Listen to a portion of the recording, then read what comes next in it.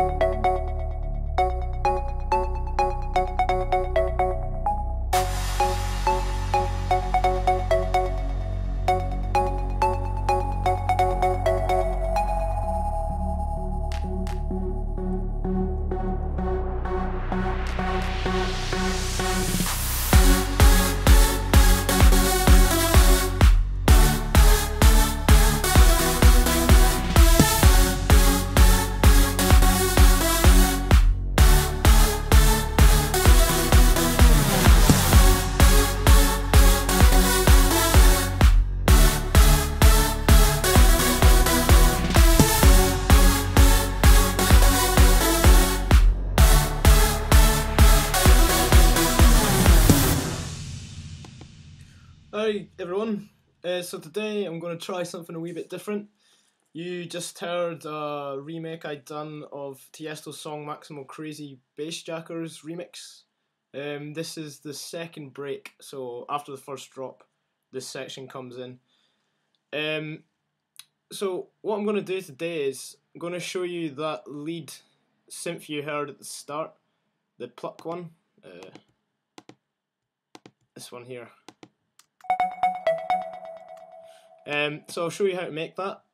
But also I'm going to make this project file which includes, uh, you know, the trance lead, um, second lead, the bass, um, what else? There's a organ sound in here as well. Um, I'm going to make this all available. Um, once I've reached 500 likes on my Facebook page. So I think I've got about 230 so far, so about 270 to go. I'll post the link in the description so you can um, tell all your friends and get me as many likes as possible. And as soon as I've got uh, 500 likes, I'm going to upload the link for this project file and all the combinators. So you can download it and see how I put this together, what effects I've used, how it's been mixed, etc, etc. So, yep, get liking my Facebook page, Digital Switchover, just type it into uh, the search and tell everybody you know and I'll let I'll upload the, the project file for it. So another thing, I've just entered the Stevie Aoki remix competition on Beatport. Pardon me. Um, it'd be awesome if you guys could support me on that. I'm also going to post the link uh, below this video where you can go and listen to it. Uh, I think the voting starts on the 7th. Um, but anyway, that's enough of that stuff. Uh, we'll get right into making this. So um, gonna create a combinator. And in that combinator, we're gonna want to create a Thor polysonic synthesizer. Then you're gonna want to right click and initialize the patch.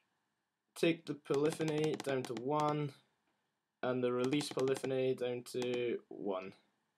Now you're to want to set it to mono retrig and make sure this portamento is switched off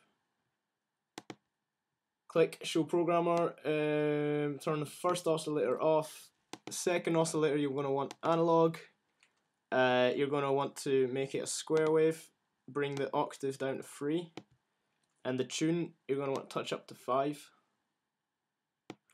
and the pulse width you're going to want a 61. And then oscillator 3, analog again, make it a square wave, this time the octave you're going to want up at 5. Uh, the tune fine. The pulse width you're going to want at 62. Uh, don't ask why I used oscillator 2 and oscillator 3 instead of oscillator 1 and 2. Uh, you can do it that way. Um, doesn't really make a difference, but you might have to change my mixer settings if you do use 1 and 2. So anyway, if you're going to do it like this, uh, you're going to want to set the mixer 1 and 2 balance to 13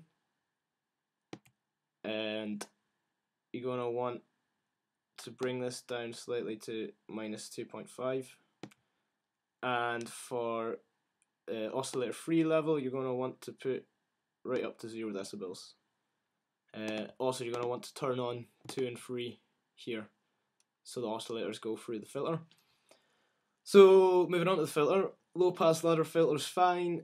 Uh, you're going to want to change it to type 12 and the frequency you're going to want to bring down to 963 hertz.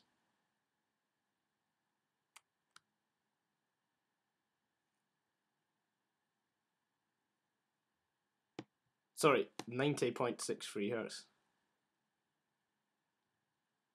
Or 96.3 hertz, sorry. It's early in the morning. So 96.3 hertz, there you go. Um, the reds leave it zero. Uh, for the envelope amount, you're going to want to put up to 97.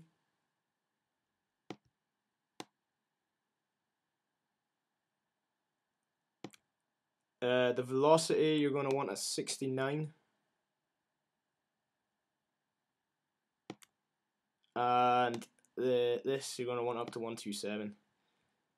And then last couple of things we're going to do on the actual synthesizer is first we'll shape the sound using the filter envelope. So the attack you're going to want to bring up ever so slightly to 0.4 milliseconds just to get rid of that initial click. Uh, the decay you're going to want at 159.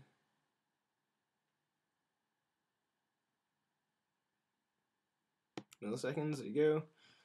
Sustain at minus 27.6 and the release all the way up. And then for the amp envelope, you are going to want the attack at 0, uh, the decay at 827 milliseconds, or 21 seconds, uh, sustain at minus 15.9.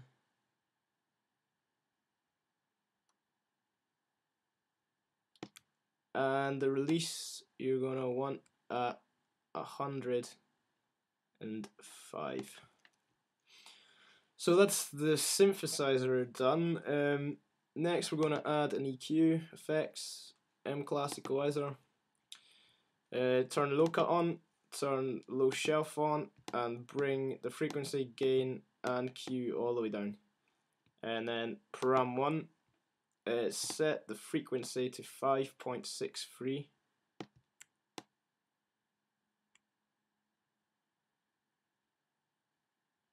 5.637 kilohertz. The gain you're going to want to nudge up to 3.4 decibels, and the Q you're going to want to bring down to 2.9. And then turn on param 2. Uh, you're going to want to bring this down to 600 uh, 600 604 um, the gain you're going to want to bring up to 2.9 and the Q you're going to want to bring down slightly to 5.4 and that's that. Um, now we're going to add a Scream for distortion unit. Um, change the algorithm to overdrive and the damage amount down to 48. For param 1, you're going to want at 62. Uh, param 2 at 109. And turn off this body, we're not going to use it. For the cut, we're going to take um, the low, pull it down to minus 16. The mid, you're going to want at 0, and the high, you're going to want to leave at 11. And then uh, going to use uh, right click and we're gonna use a delay unit. DDL one digital delay line. Uh, set this to milliseconds and bring it down to 117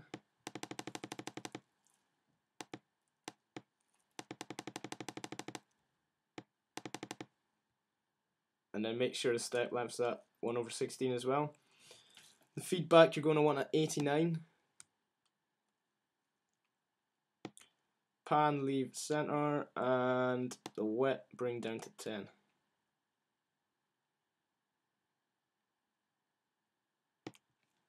And then we're also going to add a filter, so right click, effects, envelope control filter you're going to want.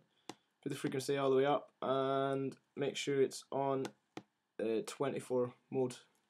Low pass filter 24. Uh, now we're going to right click again and add a RV7000 advanced reverb unit. Now you're going to want the decay at actually you're going to want to turn this EQ enable off first. Uh, you're going to want the decay at 111. Um, the high frequency damp you're going to want up 98. And the high EQ you're going to want at minus 64. And for the dry wet you're going to want to bring down to 20. and then click show programmer. Make sure it's set to plate. And pre-delay we're going to put up to 10 milliseconds. And low frequency damp just put up to 36 and that's it. There's one last thing we're going to do um, uh, we're going to create an aux channel auxiliary channel to use as an effect uh, here's the one I've made. I'll just delete this and start again.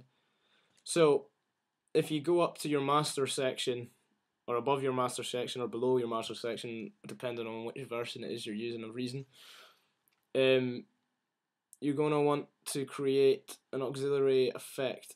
So, if you hold the Shift key and right click and create a Scream for Distortion unit, and now press the Tab key you'll see the wires haven't connected anything because you uh, held down shift. Um, so then from the input, you're going to want to take it, the left input of the Scream for distortion unit, and route it to the next available um, FX send on your uh, master section. So auxiliary 7 is fine. And then if you go across the FX return, you're going to need to take the same uh, the same number that the same number of input you put in so number 7 of the x fx at return you're going to want to take and put it in the output of the Scream for distortion so now that means if you go to the mixer